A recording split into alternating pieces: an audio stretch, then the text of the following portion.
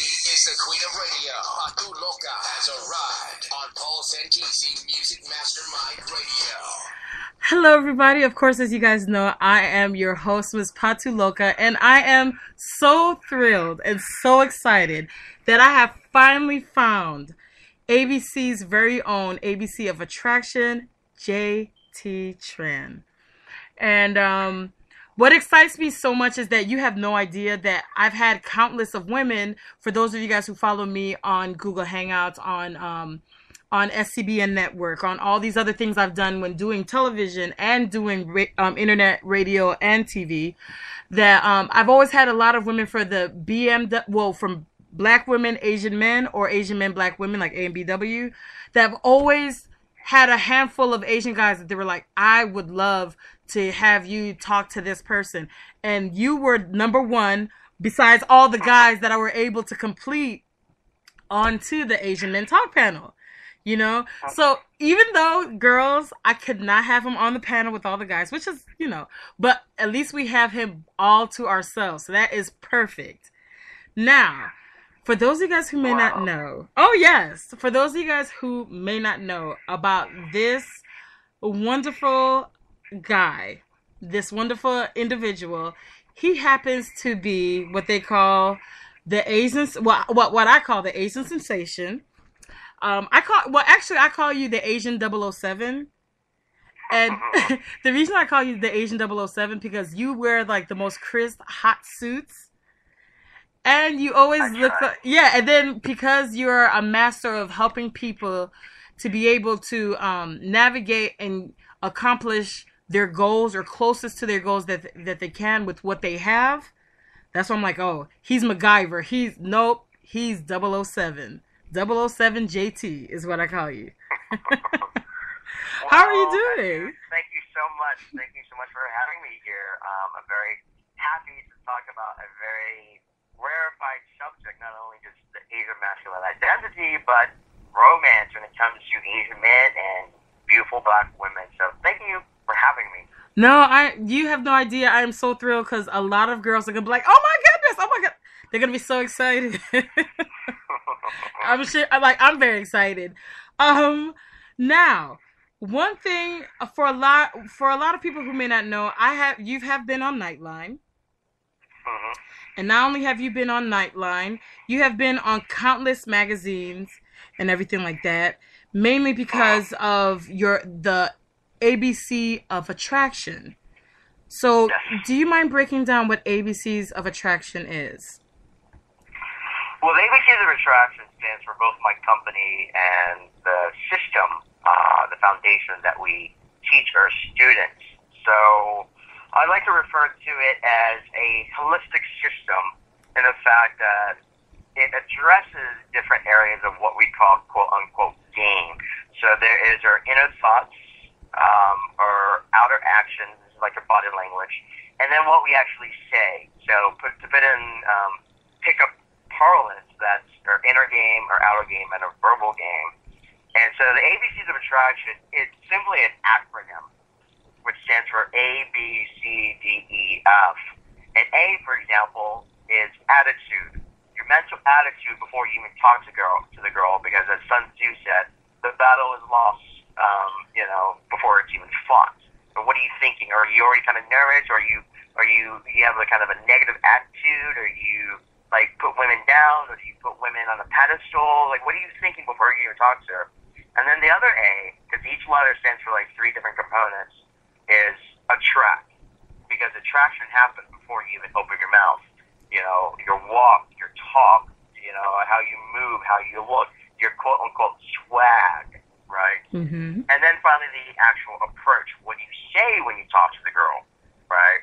So even before we teach them how to talk to girls, we teach them all this other stuff, like how to kind of correct the limiting beliefs inside their brain, and then how they should move and present themselves physically, that out of confidence. And then finally, we get to the talking. And so there are those six letters A, B, C, D, E, F, and even the, my most obvious Asian student who can barely speak English, they will still know their ABCs. Um, and each each letter has three components, and so that way I am teaching my students a very well-rounded methodology, so that everybody can learn it, and because I can't assume that every student is coming in at the same level as everyone else.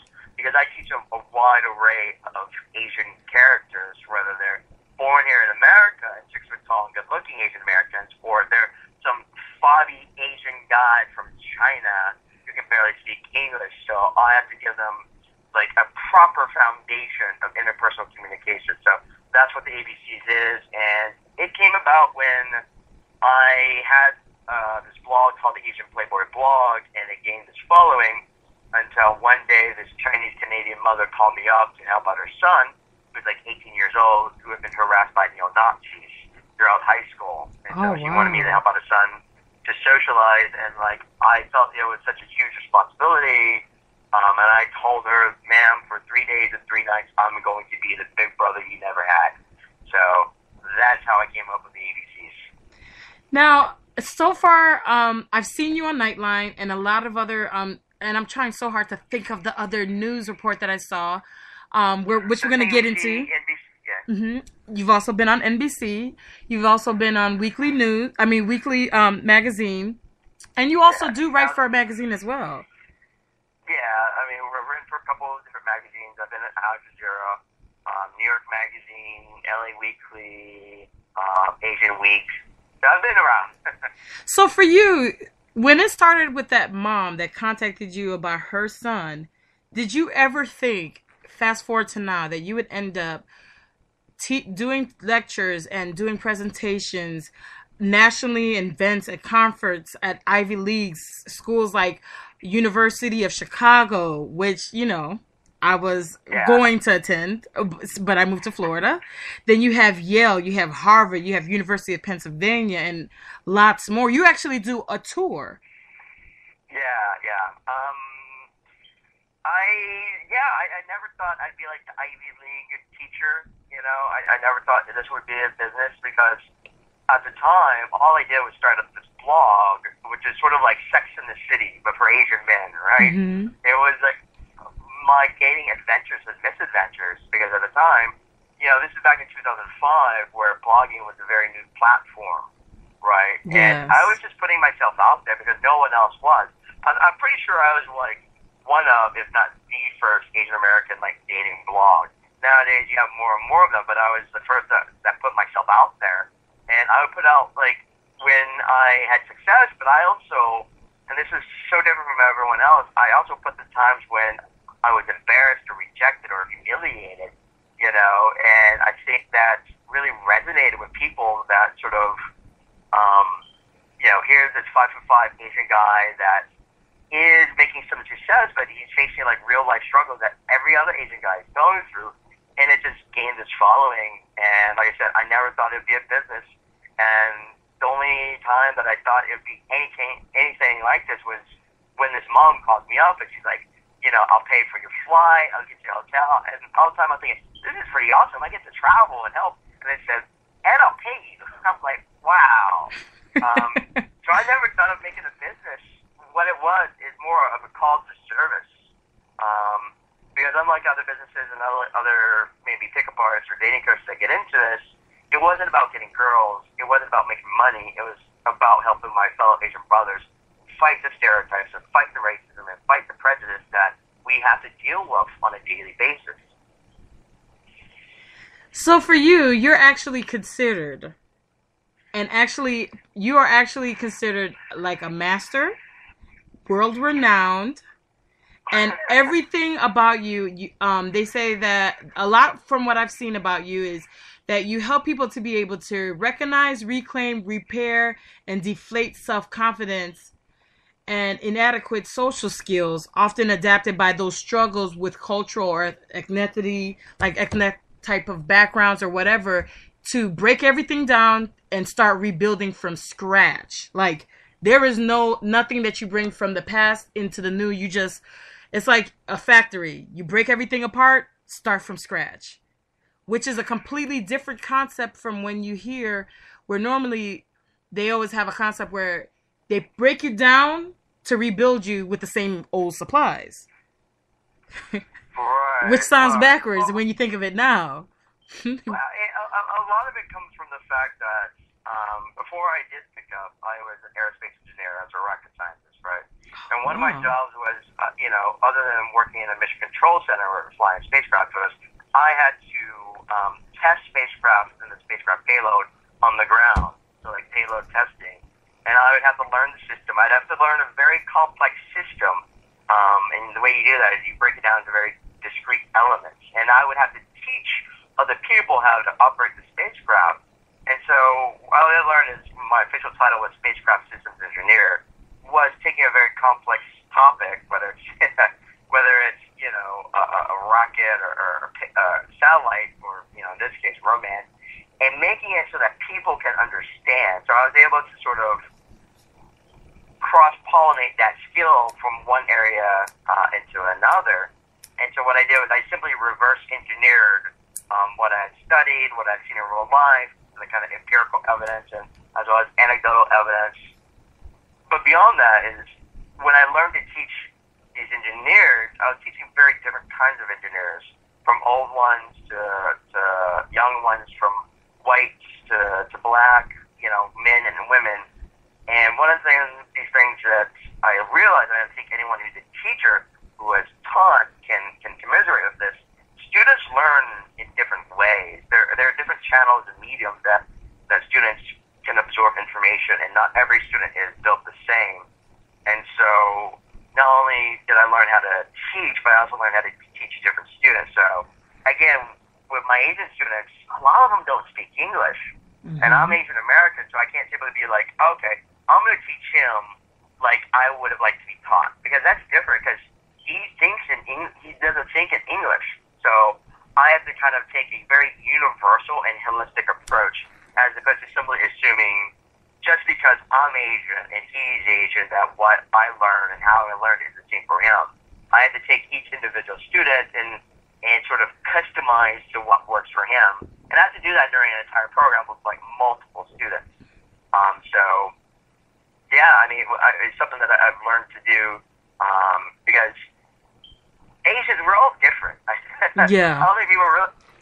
the So different, different. You know, all one monolithic group. We're, we're very different, whether we're born here or overseas, or Chinese or Vietnamese. I don't know. Like to me, what what I find so astounding is that for a lot of um, not only Asians, but since this is, since you happen to be what I call Asian James Bond, well, a, um, Asian trans Bond, um, because you're like the 007. What shocked me so much and what made me push on to having an all Asian men talk panel, a lot of people just assume Chinese, and I'm like, no. Asian is a nation is an ethnicity, but you have Thai, you have Japanese, you have so many varieties. It's not the same thing. It's like even Yeah, and though not at all. There's different, yeah, and there's different religions amongst the, the Asian um, nationalities. Cultures. Which I understand makes it very confusing for, for women who like Asians because the way you would treat a Thai person might be different than the way you treat a Japanese person. Mhm. Because you got your East Asian, you got the Southeast Asians, and then you got your your your South Asians, like your Indians and Pakistanis. So we do encompass a lot of different cultures, and there's a richness to it. But I also understand it makes it hard for girls sometimes. So I, I can commiserate.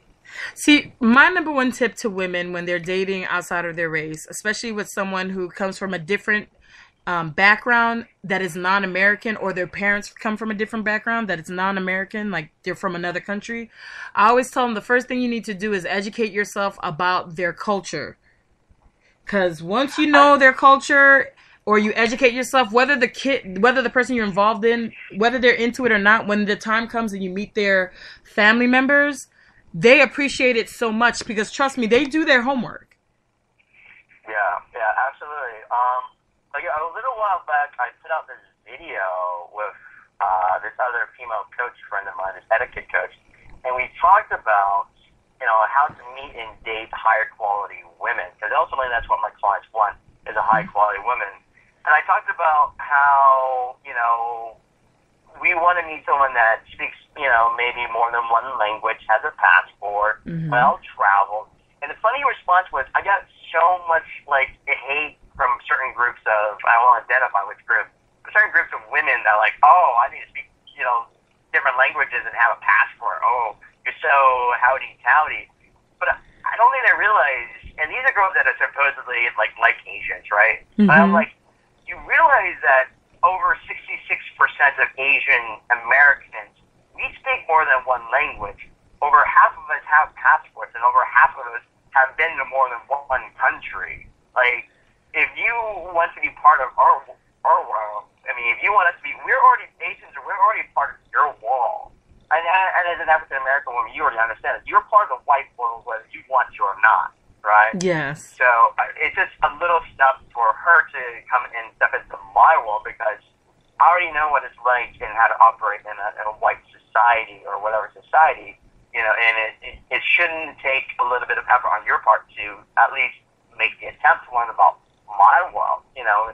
Not saying you should learn the language, but make the attempt whether you're white or you're black or you're Latina because as Asians, again, like, you know, as a minority yourself, you have to operate in the mainstream society, and so you have to understand all those cultural norms of, of a different like race within the state of white, right? hmm So it's you know, it, it, like you like you said, um, your tip, making that effort is is very important because um, it shows that you're open to it and that you don't expect us, the Asian guy, to do all the kind of the cultural work. Um, not that you shouldn't hold him to that. You know, I, I think you should also educate him to whatever culture that you are a part of. But you know, as as an Asian minority, we're kind of used to like the media and the mainstream kind of um, turning us invisible. Yeah. Right? So when you recognize that and you respect it, I think that goes a long way. You know, the crazy thing for me personally speaking, dating wise, anytime I dated a guy, regardless if he was Asian, Latino, whatever, there has not ever been someone I've dated where either they were from the country themselves and came here in their 20s or like, you know, basically coming out of high school, going to college, or they were just like me where their parents came from overseas. Even though they lived in America, when you go into when you are welcome into the home there's nothing american about the home. Like if it's a dominican home it's everything dominican. If it's an asian home it's just all just asian. Like that. And there's not been a guy that have not dated that didn't do his homework and it always made me appreciate it. And it always made my parents like them more that it was just normal because i was always raised that way that no matter whom I'm dating, I'm always making sure to make the conscious effort to find out about the history, their culture, the possibilities Yeah. of religions. And the parents are like, she's really worldly. I like her. She's nice. And I'm like, whoo hoo, Yeah, extra yeah. stars for me. I think it, it, it helps, and it helps you win points with the parents and the family. Um, and you know, as it, because as Asians, I, I, you know, not that I'm completely understanding of the entire kind of like culture of, of one group or the other, but you know, I, I do have some understanding of, you know, like say I've, I've dated a couple Ethiopian girls, so I have a little bit understanding of that. I dated white girls, I have a little understanding of like the WASPy culture. So when a girl makes an effort to to properly greet like your family member or even just saying hello in whatever Asian language, that goes a long way. Um, and I'll tell like other girls this. This little trick uh, is if you ever meet the the guy's family, his parents, you know, learn how to properly greet um, in their own language, even if hello or whatever respectful um, you know phrase it is, because one of the things that's always in the back of the mind of the Asian parents, you know, brain is, okay, she seems like a lovely girl, but am I going to be able to talk to my grandkids, or are my grandkids only going to be able to, you know, speak English and only eat American food, and I have no way to relate to my own grandkids? You know, I don't think people realize that, but that's what Asian parents sort of think if an Asian guy is dating outside of his race is like, you know, this girl might be great for him, but can I talk to my own grandkids? Right? So when you show the willingness to be part of her culture, it goes a long way not only for him, but also his parents and family. Now, for you, personally speaking, what was your personal thought on AMBW? And for those of you listening, AMBW stands for Asian men, Black women. I think it's great. I've been in a couple. Uh, more specifically, I dated two Ethiopian girls. Um, I definitely encourage my students to be very open about whom they date. Because it can't simply be about just dating only Asian girls or only white girls. It's about having options with all types of women because you know beautiful is beautiful regardless of race. And I've mm-hmm. had students that are you know I hate to say it, but they're you know they they have their own racist attitude, and I tell them, man, you know, just like you hate it when white people treat you with a racist attitude, like doesn't mean that you can treat other people with a racist attitude as well. So uh, it's definitely something that I encourage all the time with my students. Um, although obviously, you know, the majority of girls out there, at least where we go, are going to be like white or other, but definitely when I see a, an attractive black girl at the bar or the club or wherever, I definitely tell them that's a girl that they should introduce themselves to. Now, have you ever had any person that you were helping um, with uh, um, who attended ABC of Attraction? Have you ever had one that had resistance about dating outside of their race, and once they actually did, and it actually blew up in their face that it worked out? Like they were so not like this is not gonna work. I no no no, and they just said okay, take it. I'm gonna take it, and it blew up to something that they never like blew up to a whole different level that they're like, thank you so much. Absolutely. Like one of my first clients, um, he ended up marrying a, a black woman. Uh, he saw her at a Starbucks and went up to her, and he was like this five foot nothing Korean guy, and he had only ever been in Korea, and he moved to America, and he had never really expected to date black women because he's all just kind of white or Asian, right? Because that's Mhm. that's his reality, and that's where he lived. And then he ended up marrying a black woman, and I think there was one time um, another Bobby Asian student of mine, you know, he was resistant to talking to a black woman because, again, he is from Asia and it's just not part of his reality. I tell him to talk to her, and he's like, you know, he's like telling me later he was so scared, not because of the black woman, but because the bouncer was standing right by him with this big black guy. And he thought, like, the big black guy was going to beat him up because he was talking to a black woman.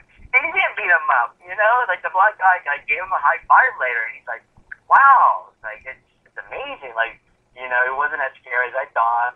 No one picked on me. You know, the black guy didn't hate on me because I was still a, this attractive black girl. The attractive black girl liked me, so, you know, it opened his eyes. And that's part of my job is to fight, you know, racism, not only in the external sense of like Hollywood and the media, but also the internalized racist belief system that Asians carry with us.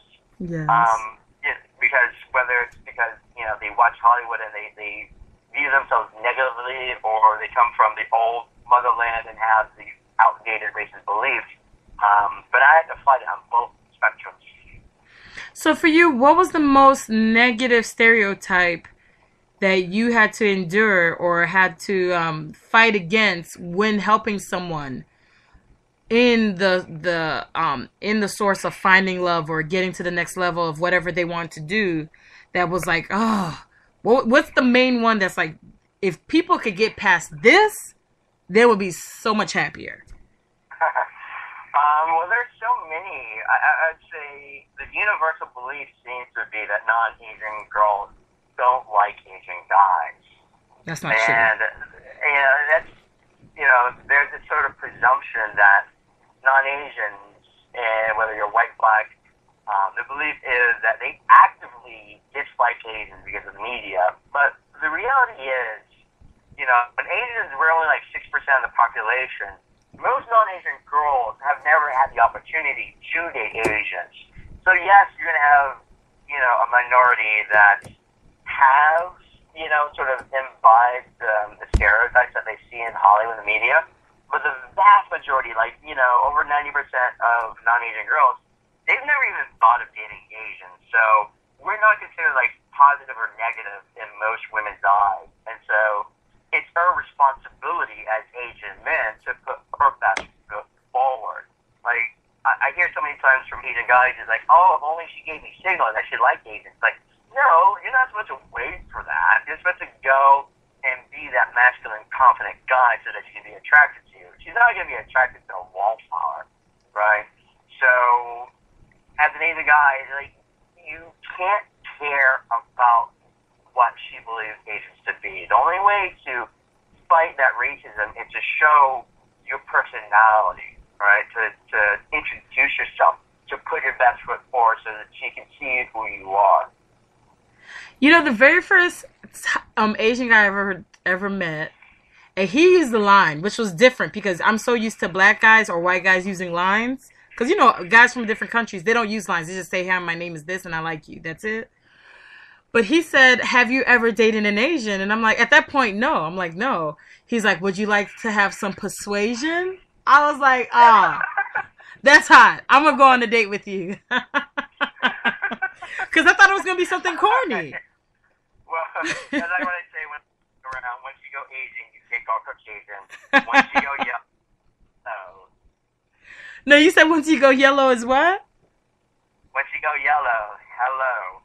No, see, those are good. Those are good because, like my grandmother said, once you uh, once you go rice, you never look twice. So only stick to people that love rice. You know, all cultures where their main diet is rice. But um, yeah. now what are your what are your atti- what is your attitude towards other Asian guys or Asian women who feel like no Asian people do not date outside their race? So this conversation that Miss Patu's having and Mr. Tran's having, I'm sorry, this is just stupid. This not it's non-existent. This just does not exist. Well, I, I'll run into it every now and then, um, whether it's like Asian guys or, or Asian girls. From the Asian girl perspective, I think Asian girls are what three times I, I forget the exact times more likely to outmarry than an Asian guy is. So yeah. that trend is already well on its way. But at the same time, there is a very real and physical uh, gender imbalance that's happening in Asia, where I think there's something like 28 million missing like Chinese women due to female infanticide, like you know all these you know because of the one child policy. Yes. So they um they aborted female fetuses in lieu of like a male one. And again, this is kind of that old world misogynistic, chauvinistic attitude but it has come back to bite us Asians in the ass where you have millions, literally just like 30 million more Asian men than there are women. So it doesn't matter if these people have that kind of belief for Asians should only stick to Asians. There are not enough Asian women to go around anymore. and as the Asian women that are here in America, they're very more likely to date like white guys than they are to date like Asian guys. So you know, I think what is it? One out of five Asian American men will never get married, and part of that is due to gender imbalance, and part of that is due to like how many Asian women are out married. So, yeah, there are these very real factors, um, cultural factors that, regardless of your belief systems, are pushing Asians to interracially date. If only for the sheer simple fact that there are not enough Asian women out there anymore. Well, since we're winding down on time, for those of you guys, please don't forget any and everything dealing with Mr. JT Tran. You will find all the information in the description box down below. And you guys can always hear a re air of this and everything of updates dealing with the ABC of Attraction, Mr. Asian Playboy himself, JT Tran. You'll find updates where you'll see hashtag JT Tran. So that's all the updates you'll find when you do that. Now, um, is there any last advice you would like to give to those Asian guys that are kind of in the in the middle where it's like I would like to date outside my race, I'm not too sure. Those I types. would say for my Asian brethren out there that are on the fence, um, that your success is going to be a lot easier than you think. It is not as as painful as you might think it is um, because you can be a successful Asian man and you can have a successful relationship if you open yourself up. And yes, rejection is part of the reality, uh, but it is not as painful as you think it is. And there are, and I say this from not only empirical evidence, but also from the thousands of Asian men that have taught, that have gone up to meet all different types of women, from white to black, and the students that have dated black women and married black women that African American women are very, very receptive to an Asian man that has the confidence to approach her. And so your likelihood of success is you know, the odds are in your favor for real. Thank you so much. And trust me, guys, since there's so many of you guys out there, there's not enough women, you got, they need to spread out. Trust me, the most beautifulest babies I've seen are those that are that come from different backgrounds. They're so gorgeous. Especially you can imagine like a, a an Egyptian Asian or Korean Haitian or like they're just so gorgeous. Just gorgeous. Yeah, well, they, they say interracial babies are the most gorgeous. Yeah. And trust me, guys, black women love you guys. You would be surprised how many black women are into KT and C pop music and movies and things. Like, you have no idea. So, um, thank you so much, Mr. JT007, for in talking to us about your ABC of attraction. And Thank you for um. Oh no, I'm so excited. Once I began open up to black women or Latin women, I realized that um, dating was a little bit easier, as you could say. Well, in my experience, I mean, and I tell my students that they definitely should approach of like women of all colors, but especially black women because they are very receptive. I know when I tell my students, they're like, "What?" Like they black women are into Asian guys, but they really are. Like I myself have dated like two Ethiopian women, so I know from experience, and I know from watching my students when they go up to a black woman, like the black women just they light up. I mean, they, because they are so rarely approached by men of other races, but especially Asian guys.